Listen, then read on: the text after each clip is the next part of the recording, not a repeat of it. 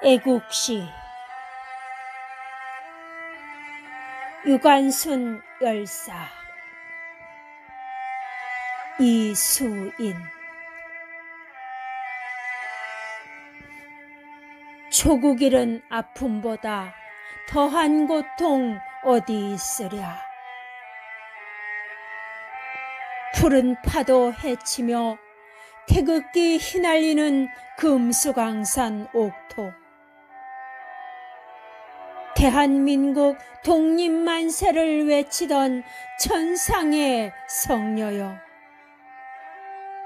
자, 내 눈을 똑바로 보아라. 시퍼런 칼날 앞에서도 굴하지 않고 맞서 싸웠던 숭고한 정신, 영원한 18세 성녀여. 그대는 이 나라 이 땅의 주인이요. 선조들의 빛이요. 거룩한 영혼.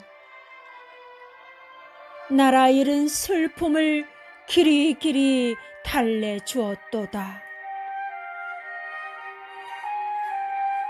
사계절이 아름다운 이 나라 이 땅을 빛내주신 대한의 영원한 꽃이여.